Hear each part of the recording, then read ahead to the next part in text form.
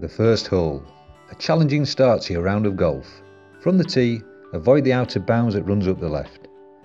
This hole is gently uphill all the way, so take an extra club for your approach shot to a green which is guarded by a front right bunker.